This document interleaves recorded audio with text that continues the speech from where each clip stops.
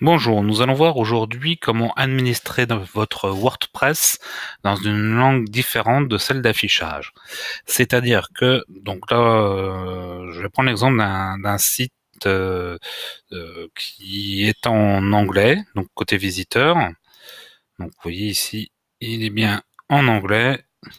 Et jusqu'ici, pour afficher un site en anglais sous WordPress, on n'avait pas le choix, on avait à la fois le site côté visiteur et côté administration qui se, s'affichait dans la même langue. Donc euh, là pour le l'exemple c'est de l'anglais, mais euh, c'est valable pour n'importe quelle langue. C'était un site français, il s'affichait en français à la fois au niveau de l'administration et euh, côté visiteur, et, donc dans les différentes langues. Voilà. Donc, ce qui pouvait être gênant euh, lorsqu'on euh, veut avoir une version euh, dans une langue qui n'est pas forcément sa langue maternelle ou sa langue d'usage, pour bah, tout simplement être sur un marché étranger. Ben voilà. Donc on a avant on était on était un peu ennuyé au niveau de l'administration.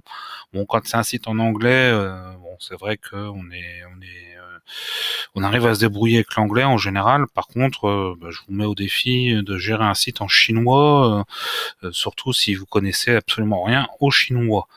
Enfin, moi, j'en serais parfaitement incapable. Donc, bah, l'avantage de, cette nouvelle fonctionnalité sortie avec la version 4.7 de WordPress, donc depuis le, le 6 décembre 2016, c'est que vous pouvez avoir l'administration dans la langue de votre choix sans que ça euh, gêne la langue d'affichage du site. Donc pour changer cette langue, c'est pas compliqué. Donc vous allez dans l'administration de votre WordPress, vous vous rendez à utilisateur si le, site est en français, users dans mon cas puisqu'il est en anglais, et vous cliquez sur Your Profile ou euh, votre profil en français. Après s'il est dans une autre langue, je, je vous laisse chercher, euh, je ne connais pas. Donc vous descendez un petit peu, mais c'est, vous voyez que c'est pas très loin du début. Vous allez à la ligne language en anglais ou langue en français, et vous voyez que euh, la langue c'est la langue du site par défaut. Et donc là, il vous propose différentes langues. Et donc euh, moi, je vais le mettre en français puisque c'est ce qui m'intéresse. Donc on paramètre français et surtout on n'oublie pas de cliquer sur le bouton tout en bas, update profil ou mettre à jour le profil en français. On clique dessus et vous allez voir que l'administration va passer de l'anglais au français. Voilà, donc vous voyez, on est bien, on bien en français, et c'est valable pour toute l'administration. Hein. donc on retrouve toutes les, tout le, vous voyez, tous les panneaux, euh, les différents onglets, euh, on les trouve bien en français.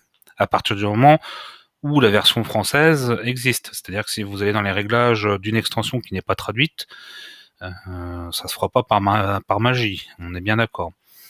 Par contre, ben, quand on va côté visiteur, si euh, par exemple là je cliquais sur une autre page pour voir, vous allez voir qu'on est toujours bien en anglais. Voilà, on a toujours notre euh, formulaire de recherche qui est bien en anglais. Notre site reste bien en anglais du côté visiteur. Vous voyez même cookie notice.